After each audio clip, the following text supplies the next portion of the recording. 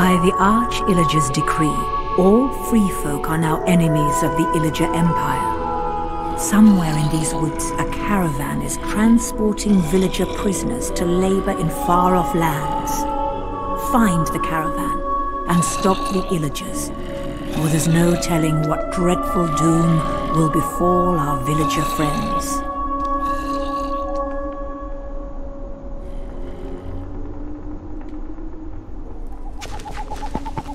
Thank you.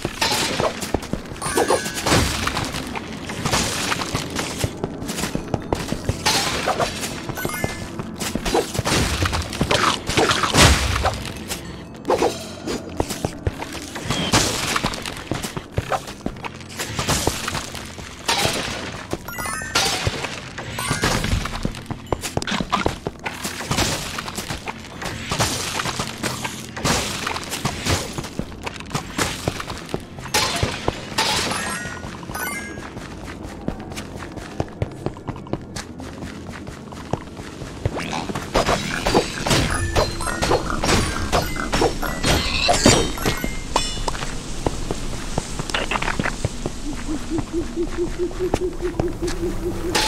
you.